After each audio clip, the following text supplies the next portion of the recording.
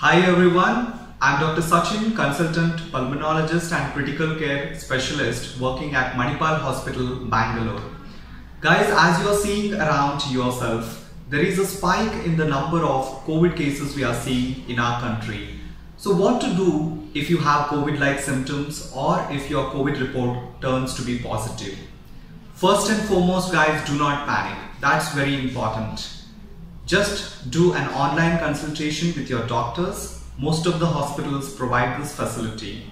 The doctor might ask your symptoms, he might analyze your oxygen levels and he will advise you if any blood tests or radiological tests required depending upon the severity and depending upon any medical problems underlying do you have or not.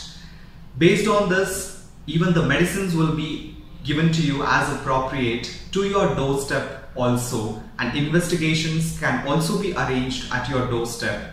So follow their guidelines, follow their protocols and stay in home isolation for two weeks. What to do in home isolation? What should I not do when I am in home isolation?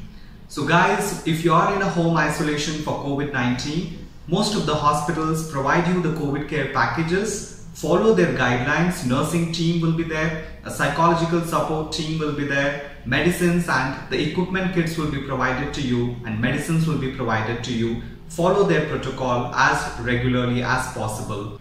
What to do with your equipments or what are what are the things to be kept with you? At least you have to keep a digital thermometer to measure the temperature and a pulse oximeter to check your oxygen levels at least three times a day. Make sure that your oxygen level is more than 95% in the pulse oximeter and your temperature is below 99. If you have oxygen dipping down below 95 or if your temperature is persistently high for more than 48 hours, please consult your doctor and seek help.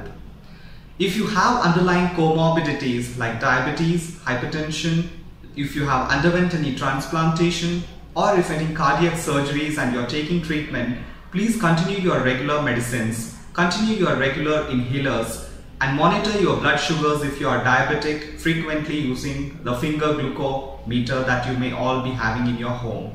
More than 85% people do not require hospitals. So don't rush and don't panic and run to the hospitals if you are COVID positive.